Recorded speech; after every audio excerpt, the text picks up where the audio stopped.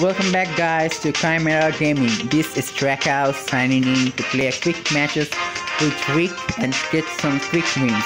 And guys, if you are enjoying our content, so please do like and subscribe to get future notification on all our news and activities.